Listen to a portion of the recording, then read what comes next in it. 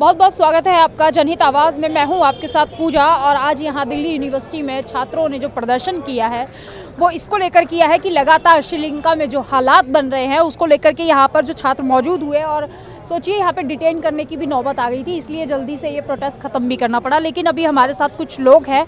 क्या नाम है साहब मेरा नाम भीम है। हाँ। और मैं क्रांतिकारी युवा संगठन का एक कार्यकर्ता हूँ। तो क्या कुछ मुद्दा हुआ है श्रीलंका में जो आज फिर से उन मुद्दों को लेकर के यहाँ प्रदर्शन किया जा रहा था? देखिए आज वहाँ पे आज के दिन इंटरनेशनल एक्शन डे घोषित किया गया श्रीलंका में। वहाँ की जो सरकार है उसके बर्बरता के खिलाफ। वहाँ की सरकार लगातार कोशिश कर रही है कि जो जनता गैर कानूनी तरीके से जो सरकार चुनी गई है जो प्रधानमंत्री और जो राष्ट्रपति चुना गया है उसके विरोध में प्रदर्शन चल रहे हैं। उसको दबाने के लिए PTA prevention of terrorism act और बाकी तरह तरह के एक्ट लगा के वहाँ के आंदोलनों को दबाने की कोशिश कर रही है सरकार। वहाँ के एक्टिविस्ट को जेल में भेजा जा रहा है, पीटा जा रहा है और तरह तरह के हथकंडे अपनाए जा रहे हैं कि आंदोलनों को, आवाज़ों को दबाया जा सके। तो इसके लिए हमें ये जानना ज़रूरी है कि ये किया क्यों जा रहा है? हम जानते हैं कि पिछले पिछहत्तर दिनों में वहाँ जिस तरह से आंदोलन एक खड़ा हुआ, जो जनता रागलिया मूवमेंट वहाँ पे खड़ा हुआ, वो ये दिखा रहा था कि श्रीलंकन जो आवाम थी, श्रीलंका की जो जनता थी, एक बहुत ही बड़े आर्थिक क्राइसिस से गुजर रही थी, आर्थिक संकट से गुजर रही थी। वहाँ पे करीब 60 परसेंट जनता के पास, मात्र एक ही परसेंट संपत्ति थी पूरे देश की। और बाकी जो बहुत लिमिटेड जो बहुत ही छोटा हिस्सा था, उसके पास बहुत ही ज़्यादा पूरे श्रीलंका की संपत्ति थी। जिसके कारण ये हुआ कि एक बड़ी संख्या वहाँ पे, भू, भूखे और बिना किसी अच्छी स्थिति के कारण जीने को मजबूर थी। जब ये क्राइसिस ज़्यादा बढ़ा, जब खाने के लिए लंबी लंबी लाइनें लगने लगी पेट्रोल के लिए लंबी लाइनें लगने लगी, इलाज नहीं मिल रहा हॉस्पिटल में लाइनें लाइनें लंबी लगने लगी, तब ये क्राइसिस हमें बड़ा होता हुआ नज़र आया। और इतना बड़ा क्राइसिस हो गया कि वहाँ के राष्ट्रपति इसको हैंडल नहीं कर पाए, संभाल नहीं कर, संभाल नहीं पाए तो उन्हें मजबूरन उनको भागना पड़ा वहाँ से। और ये भयावह स्थिति थी, बहुत खतरनाक स्थिति थी। ये जो दिखाता है कि वहाँ की सरकार पूरी तरह से जनता की मांगों को लेके, जनता के इशू को लेके, जनता की जो वहाँ की आम मांग थी जनता की, उसको पूरा करने में बुरी तरह विफल रही थी। इसके कारण वहाँ के राष्ट्रपति को भागना पड़ा। अब इसके बाद क्या होता है? इसके बाद वहाँ के एक प्रधानमंत्री को चुना जाता है। ये सारा शांति बहाल करने के लिए। और वो प्रधानमंत्री जो है, पूरे ऑपोजिशन पार्टी के एकमात्र लीडर थे पार्लियामेंट में। इस पे गौर करने वाली बात यह है कि जब जनता का मूवमेंट वहाँ चल रहा था तो जनता ने पूरे पार्लियामेंट के एमपी का रेजिग्नेशन मांगा था। उन्होंने खाली जो पावर में थे, सत्ता में थे, उन्हीं एमपी का रेजिग्नेशन नहीं मांगा। उन्होंने अपोजिशन पार्टी के एमपी का भी रेजिग्नेशन मांगा। इसका मतलब कि जनता का पार्लियामेंट में, वहाँ के संसद में, वहाँ के रिप्रेजेंटेटिव में एमपी में पूरा विश्वास खत्म हो चुका था। किया क्या जाता है उनकी आवाज़ सुनने की जगह पे? आईएमएफ और देश के जो बड़े बड़े पूंजीपति थे और जो दुनिया के बड़े बड़े पूंजीपति थे, उनकी मदद से एक पिट्ठू सरकार को बिठाया जाता है। रानिल विक्रम सिंघे को वहाँ का प्रधानमंत्री बनाया जाता है। और वो विक्रम सिंघे जो एकमात्र ऑपोजिशन के लीडर थे। उनको 2020 में ही श्रीलंका की जनता ने नकार दिया था। बुरी तरह से वो चुनाव हारे थे। और बड़ी बेशर्मी है या इसको बेशर्मी कहे या वहाँ के पार्लियामेंट और लोकतंत्र का खोखलापन कहे कि एक ऐसे व्यक्ति को प्रधानमंत्री के पोस्ट पर बिठाया जाता है जो लेजिटिमेसी खो चुका है। और यही नहीं, वहाँ की हिस्ट्री में ऐसा पहली बार होता है कि वहाँ के एमपी श्रीलंका के राष्ट्रपति को चुन रहे हैं। यानी एक लेजिटिमेट पार्लियामेंट लेजिटिमेट एमपी एक राष्ट्रपति को चुन रहे हैं जो देश चला रहा है। और अब क्या हो रहा है वहाँ पे? वहाँ की जनता की मांगें नहीं पूरी की जा रही है। तो उनकी मांगों को, आवाज़ों को दबाने के लिए पीटीए जैसे कानून लाए जा रहे हैं, उनको जेल में भरा जा रहा है, ताकि वो इस जो शोषणकारी सरकार है उसके अगेंस्ट कुछ ना बोल पाए। अच्छा उसको लेके तो वहाँ पे हो रहा है लेकिन आप लोग यहाँ पे आवाज़ें बुलंद कर रहे हैं आखिर क्यों? हम उनका समर्थन करते हैं कि जनता का आंदोलन चल रहा था यहाँ से हम सॉलिडारिटी दे रहे हैं। और सॉलिडारिटी देना चाहिए। हम पूरे दुनिया में जगह जगह आंदोलन चलते हैं यहाँ से सब लोग अपनी सॉलिडारिटी देते हैं। और इसमें कोई गलत बात नहीं है आम मजदूरों का आंदोलन है तो मजदूरों के आंदोलन को समर्थन मिलना चाहिए। और ये स्थिति जो स्थिति श्रीलंका में बनी है वो खाली वहीं पे नहीं है। हम इंडिया में भी इस तरह की स्थिति देख रहे हैं। क्या यहाँ पे बेरोजगारी नहीं है? क्या यहाँ पे आर्थिक संकट नहीं है? क्या यहाँ पे लोग भूखे नहीं मर रहे हैं? क्या यहाँ पे लोग बेरोजगारी नहीं है? क्या यहाँ पे लोग बिना इलाज के नहीं मर रहे तो हैं पे ये क्राइसिस तो दिख रहा है। पूरी संभावना है इसकी। जिस तरह से सरकारी संपत्ति को बेच बेच के पूंजीपतियों को मुनाफा पहुँचाया जा रहा है उस तौर पे नज़र तो यही आ रहा है कि आने वाले समय में यहाँ भी एक क्राइसिस निकल के सामने आने वाला है कि जनता रोड पे आएगी और जनता रोड पे आना शुरू कर चुकी है। ऐसा नहीं है कि जनता रोड पे नहीं आ रही है। ऐसा देखिए आप टीचर सब रोड पे हैं टीचर सब प्रदर्शन कर रहे हैं, उनके लिए नहीं मिल रहा। मजदूर आंदोलन कर रहे हैं। छात्र अभी कुछ समय पहले अग्निवीर को लेकर के छात्रों ने बड़ा आंदोलन किया। अलग अलग एग्ज़ाम जब कैंसिल कर दिए जाते हैं, उनको लेकर के छात्र प्रदर्शन कर रहे हैं। यानी कि समस्या तो चली रही है।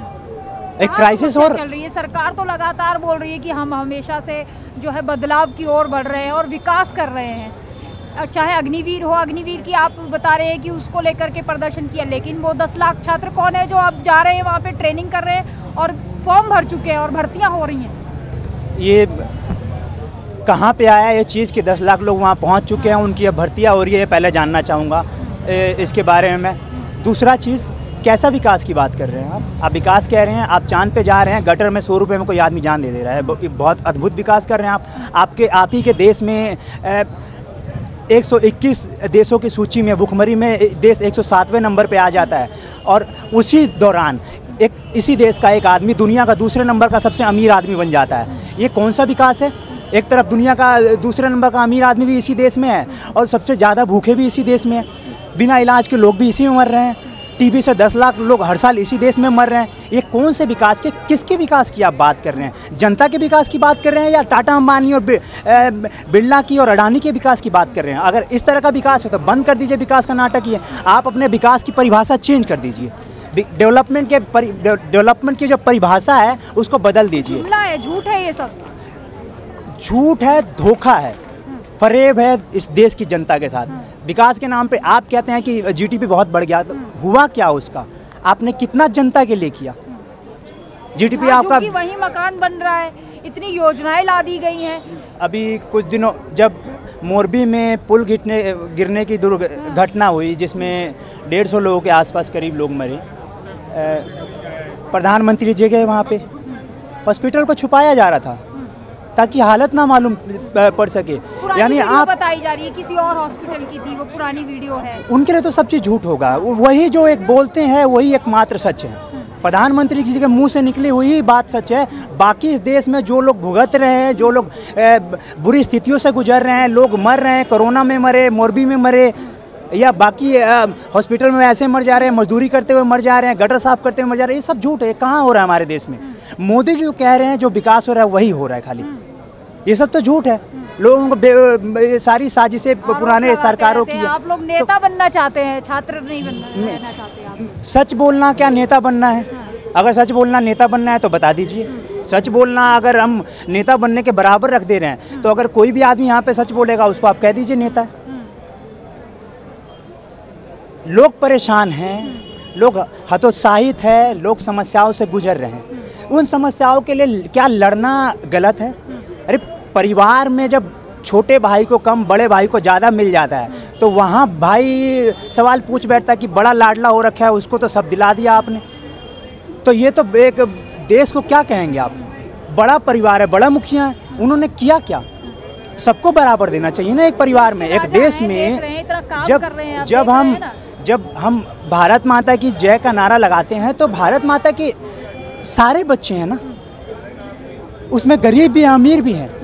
आप किसके लिए कर रहे हैं? गरीबों के लिए हो रहा है कि नहीं हो रहा है? आप तो अमीरों के लिए सारा कह रहे हैं कह रहे हैं भारत माता की जय। भारत माता गरीबों का बच्चा सरकारी स्कूल में पढ़े अमीरों का बच्चा प्राइवेट स्कूल में पढ़े। भारत के गरीबों का बच्चा सर सरकारी अस्पताल में इलाज कराएगा अमीरों का बच्चा प्राइवेट अस्पताल जाएगा। गरीबों के लोग ऐसे भूखे मरेंगे। मंदिर बनवा दिया ना। मंदिर तो तो बनवा रहे हैं हिंदू राष्ट्र बन रहा है इतना कुछ कर रहे हैं महिलाओं के लिए प्रांगण से बोलते हैं। फिर भी आप लोग संविधान भी बन रहा है पुराना हो गया वो संविधान बदलने की बात है। संविधान में भी संशोधन किए जा रहे हैं। बताइए और क्या करें? देखिए सरकार है इनकी मनमानी चल रही है आर्मी है पुलिस है सीबीआई है तो जब पावर में है तो इनके हिसाब से जो सही है वो करेंगे।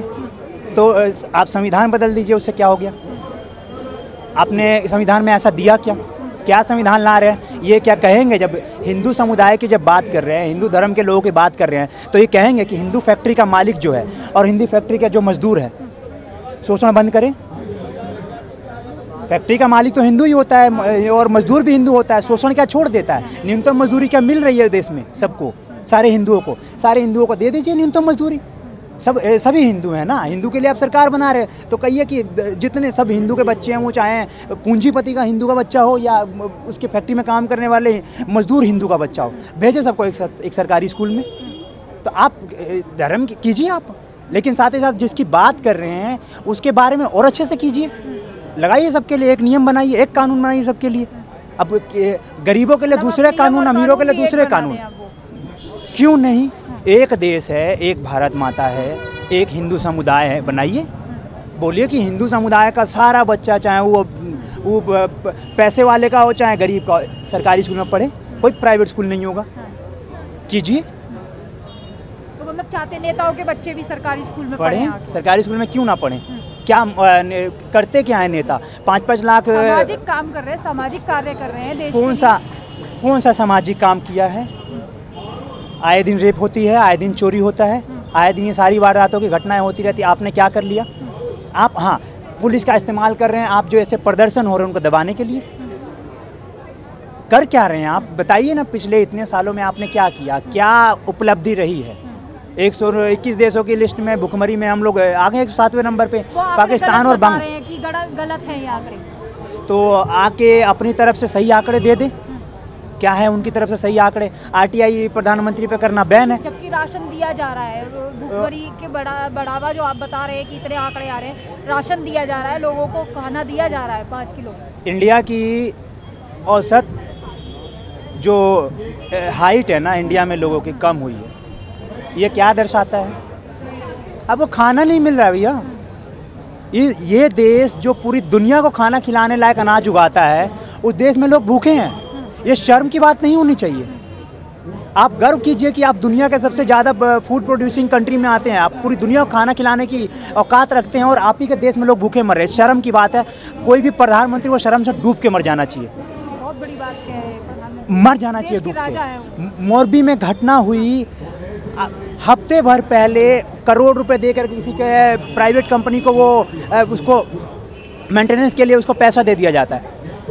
वहाँ पे ये बकायदा कहा गया कि 100 लोगों से ज़्यादा ही कैपेसिटी नहीं है। 600 टिकट बिकते हैं 675 टिकट बिकते हैं 400 लोग एक टाइम पे उस पुल में चढ़ते हैं। हाँ। ये तो क्रिमिनल नेग्लिजेंस है। डेढ़ सौ लोग जाने चाहिए थे डेढ़ सौ लोगों सौ लोगों का कैपेसिटी था। सौ लोग जा रहे हैं। 100 लोगों का कैपेसिटी था। लोगों की गलती बताई जा रही टिकट किसने दिया? हम्म, टिकट देने वाला जिम्मेदार है कि नहीं है? और जब इनके अंडर हो रहा है आप अगर वो कंस्ट्रक्शन का काम सरकारी काम है। बदनाम करना चाहते थे मोदी जी को इसलिए भाग भाग के जा रहे थे लोग। ऐसा बोला जा रहा है। इसमें तो अब जो कहिए चिट भी उनका पट भी उनका तो आप अगर बातें मनवानी है तो मनवा लीजिए ऐसे तो हमसे कुछ बात मनवा लीजिए। हम भी बोलते हैं हाथी के पाँच पाँव होते हैं मना के दिखा दीजिए नहीं होता है। तो बोलने को तो आप कुछ भी बोलेंगे। आपका मन है आप बोलते रहिए मुँह दिया हुआ है चलता रहता है। बोलने में तो महारत हासिल किया ही हुआ है उन्होंने। इतने सालों से बोलने में ही तो महारत हासिल किया काम कर। करने में तो महारत नहीं दिखता उनका कुछ वो। बोल तो रहा हूँ, सौ रुपये में गटर में गिर के मर जा रहा है। आप बताइए क्या विकास है? मतलब पंद्रह हज़ार, बीस हज़ार का गटर साफ़ करने वाला मशीन आता है। वो आप नहीं लगा रहे हैं क्योंकि सौ रुपये में किसी आम आदमी की जान ज़्यादा सस्ती है मशीन से। तो मर जाए सौ रुपये में, पंद्रह हज़ार का मशीन कौन लगाएगा? तो ये तो हमारा महान देश है। इतना महान है कि सौ रुपये में आज भी हम टट्टी साफ़ करवा रहे हैं, हाथ से टट्टी साफ़ करवा रहे हैं।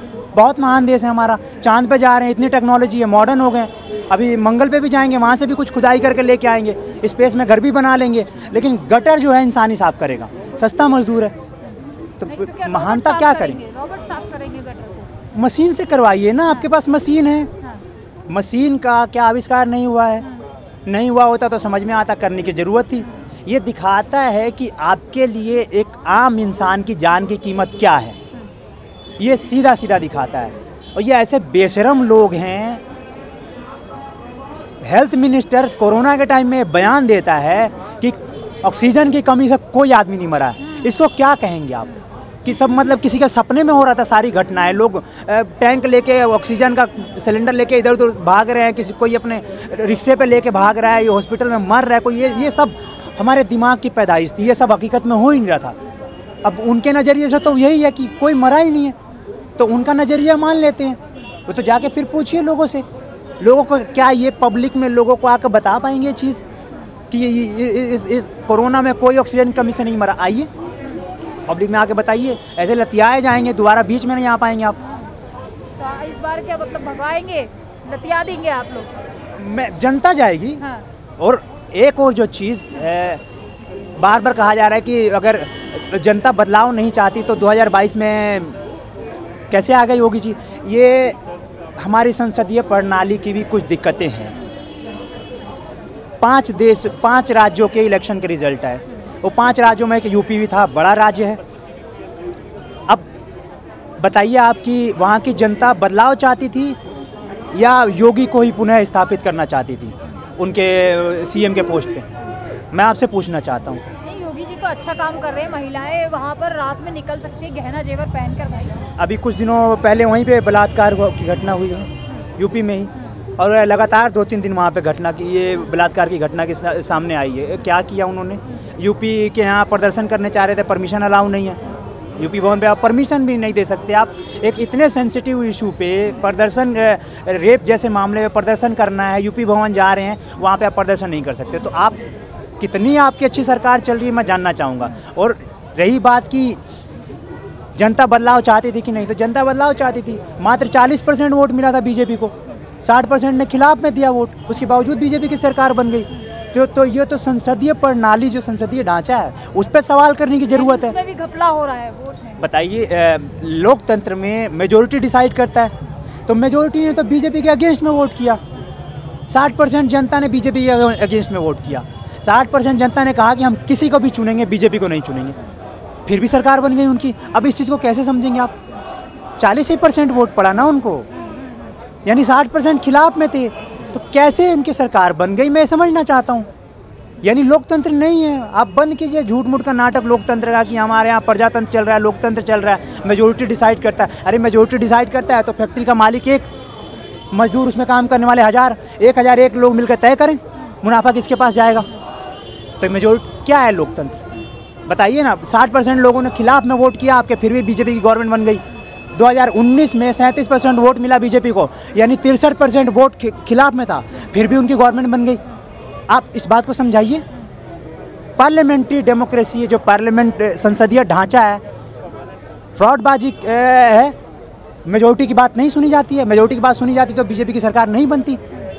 सैंतीस परसेंट पर कैसे बन गई बीजेपी की सरकार? ये सवाल है। आप इन सवालों की पड़ताल कीजिए। अब कोई उसमें ये कह दे कि नहीं मल्टी पार्टी सिस्टम है। अरे ठीक है भैया कि- कि बीजेपी के कैंडिडेट को किसी कंस्टिट्यूंसी से मिल गया हज़ार वोट। उससे नीचे वाले कांग्रेस को मिल गया नौ सौ निन्यानवे। उससे नीचे वाले को मिला नौ सौ अट्ठानवे उससे नीचे वालों को मिला नौ सौ। अरे इन सबका वोट मिला के जो जनता है ये तो हज़ार से तो बहुत ज़्यादा हो गई ना। तो आप किसकी सुनेंगे? वोटों में घपला हो रहा है यानी वोटों में घपला नहीं ईवीएम नहीं। हाँ। ये प्रणाली में दिक्कत है अच्छा। कि एक तरफ़ हज़ार किसी को वोट मिल जा रहा है क्योंकि उसको हज़ार मिल गया बाकी को नौ सौ निन्यानवे और आठ आठ नौ ठीक होगी प्रणाली? जनता को कानून बनाने का अधिकार दिया जाए। जनता को। जनता कानून बनाए। रिप्रेजेंटेटिव तो भेजेंगे रिप्रेजेंटेटिव कहते हैं कि लोकतंत्र है ना, कि हम अपने प्रतिनिधि चुन सकते हैं, वो हमारे लिए कानून बनाएगा। मध्य प्रदेश में चुना, वो कांग्रेस से बीच छटक के बीजेपी में चले गए। मतलब चुना जनता ने, वो बिक गए बीजेपी के हाथों। तो ये तो हमारा तो वोट खराब चला गया। कैसा लोकतंत्र है भाई? ऐसा लोकतंत्र होना चाहिए कि जनता के पास पावर होना चाहिए कि अगर प्रतिनिधि मेरी बात नहीं कर रहा तो उसको बुला लिया कि तुम नहीं हो हमारे प्रतिनिधि, हमारे नाम, हमारे काम की नीतियाँ तुम नहीं बना रहे हो। ये होना चाहिए, जनसभाएँ होनी चाहिए। जनसभा में जनता जनता की संसद होनी चाहिए। जनता की संसद में बिल पास कीजिए आप। लड़ेंगे इसके लिए कम से कम इसकी बातें तो हो। इसकी तो बातें भी नहीं हो रही है। ज़्यादातर पार्टी ऑर्गेनाइजेशन इसी में ले आके लड़े हुए हैं और कहते करप्शन दूर कर देंगे।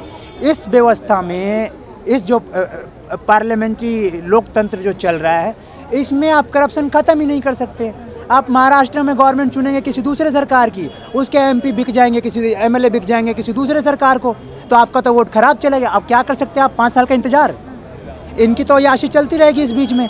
पाँच साल आम आदमी कैसे गुजारेगा? वो उसका जवाब कौन देगा? तो फिर जनता के पास कौन सी पावर है? बस वोट देने की। और उस वोट से वो कुछ कानून नहीं बना सकते। कानून बनाएगा अडानी। तो अब जनता होशियार हो रही है। मुझे नहीं मालूम जनता कितना होशियार हो रही है लेकिन जनता के बीच में ये बातें ले जाने की ज़रूरत है कि जनता को कानून बनाने का अधिकार मिलना चाहिए। तो ये देखिए, ये तो हालात थे श्रीलंका के जिस पे हमने बात की, लेकिन आज जो देश के हालात हैं, उस पर भी चर्चा होनी चाहिए। तो जिस तरीके से लगातार देश को गुमराह करके और उस दलित पिछड़े लोगों के वोटों से जो राजनीति में आने वाले, सत्ता में आने वाले जो राजनेता हैं, उसके बाद वो उन लोगों को क्यों भूल जाते हैं? यही बात एक बहुत बड़ा अपने आप में सवाल है। इसी के साथ देखते रहिए। जनित आवाज़ मेरे सहयोगी धर्मेंद्र के साथ में पूजा।